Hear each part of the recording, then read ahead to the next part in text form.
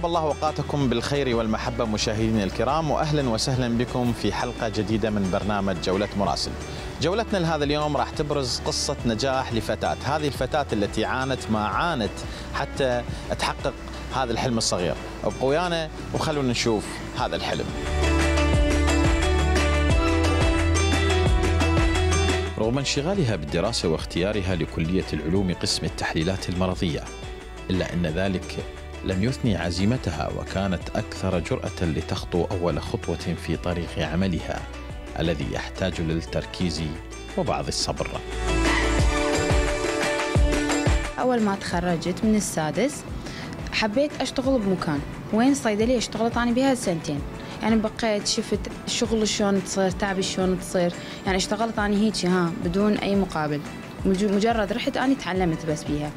وراها نشوف نروح على أماكن أكو تزيين بيها بالكليات يعني يسوون ميوزه تزيين هاي يعني إحنا نباوع نفكر بيها يعني حلو هيك مشروع.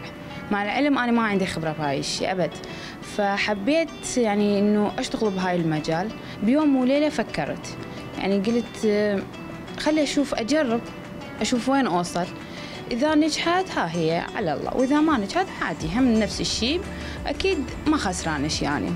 الاشياء أخسر بيها أكيد دا أتعلم منها. فوراها بدينا وجبنا غراض من بغداد وأول تزيين ثاني تزيين أشوف ناس عجبوا وقاموا يسوون تاكات بالسناب وبالإنستغرام شغل فلانة وشغل فلانة. أنا طبعا هم لحد هسه بعدني الجديدة مو هو يعني تسعة اشهر عشرة أشهر.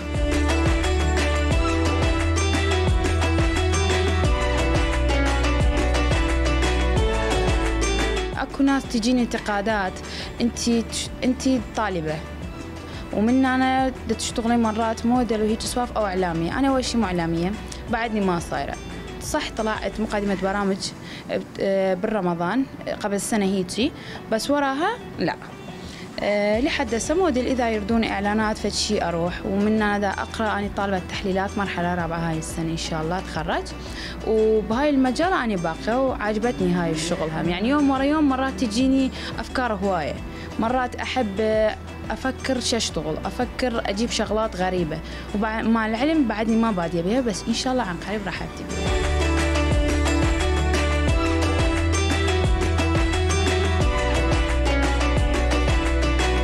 تولين تثبت لنفسها قبل غيرها إنها تستطيع أن تعتمد على نفسها وأن توفر متطلباتها من ثمرة جهدها لتتنعم بالإنفاق وتشعر بأهمية المال وضروريات إنفاقه.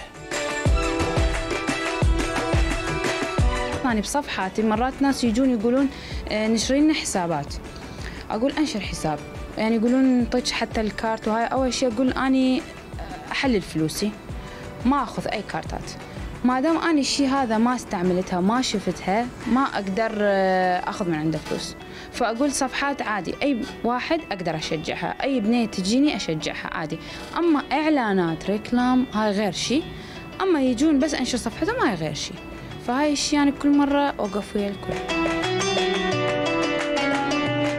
اني أول ما بديت أول شغل لزمتها أني حنة. كانت. فبنات هم راحوا للحنة وبنية كانت صديقتنا وعزمتنا وهاي فهم رحنا نشوف الناس آرائهم. إحنا ما قلناهم إن إحنا هاي تزين إحنا.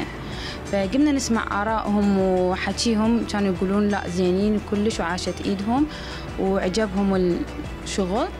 فمن هاي جت ببالنا رحنا اشترينا غراض من بغداد. جبنا وصينا ورود ويعني أنواع أشكال غراض تمام؟ طاولات وهاي كلها. فوراها خطوبة وراها أعراس قمنا نشتغل وراها تزيين سيارات. فكل هاي يعني وحدة وحدة جبناها واشتغلنا بها إي إي. فيعني مو بس هاي أعياد ميلاد هم طاولات التخرج ميوز التخرج كلها.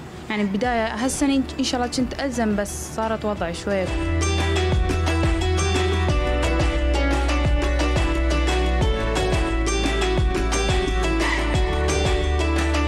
بدأت تولين بتجهيز بسيط لاقى استحسان الحضور في أحد الحفلات ثم انطلقت لتؤسس عمل تزيين كوشات الأعراس والتخرج رغم وجود بعض الانتقادات لها من القريب والغريب.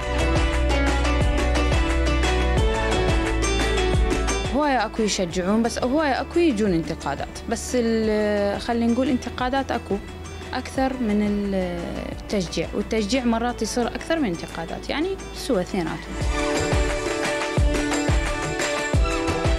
أباوع على انتقادات بالعكس يجوز أخذ درس يجوز دا أتعلم يجوز مسوي فد شي غلط أو حاجة فد شي مثلا أو نقطة فد شي غلط أو مثلا وقفتي غلط أو ناس يقولون ها انت هيك وانت هيك يجوز يعني من هاي الانتقادات أنا أستفاد بالعكس.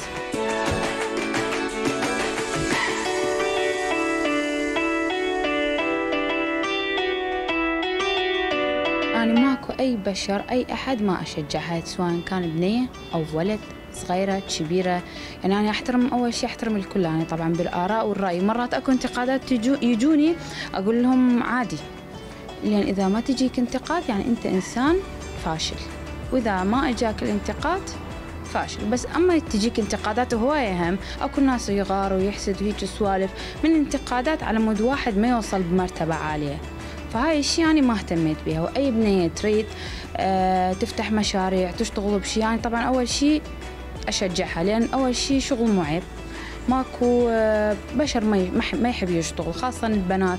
وهاي الفترة يجون انتقادات عيب بنية تشتغل عيب بنية تطلع وهاي و...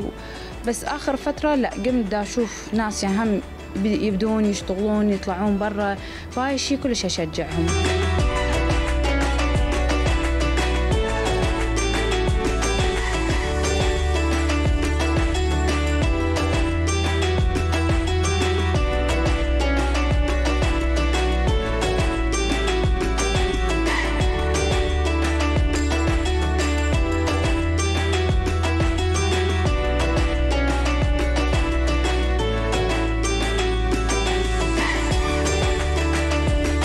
أكثر شيء أتعب بيها من آه، أروح على بيت إنه مكان ما حلو.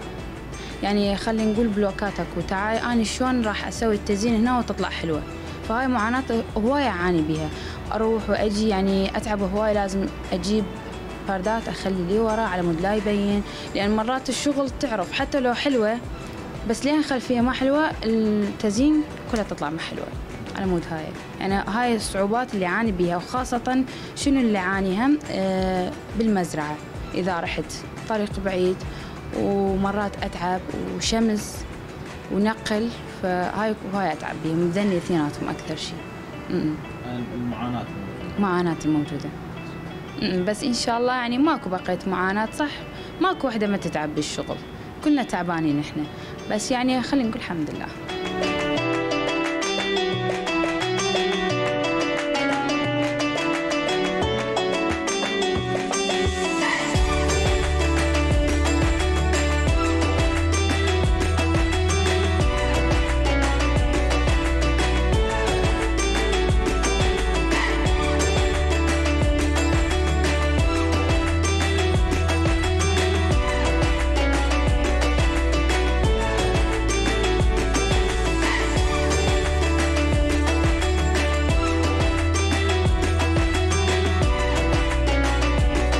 تأثر عملها بجائحة كورونا إلا أنها تشجع كل شخص على أن يعمل ما يحب وأن يتخذ القرار المناسب ويعتمد على نفسه في إيجاد عمله الخاص رغم كل المصاعب والمعوقات.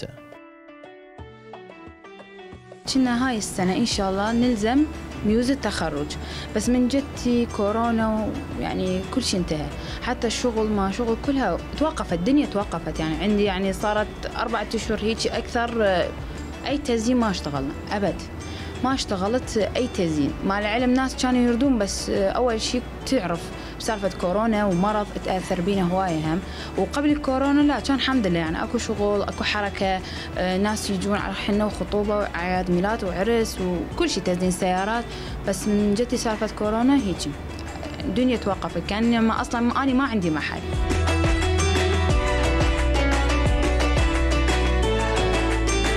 ماكو وحدة ما تعاني من شيء أنا بحياتي هم تعبت. بالدراسة. آه، هواي كانت تجيني انتقادات عن طريق شكل وهاي كنت حيل سمينة اكو ناس ينتقدون ما أعرف شنو.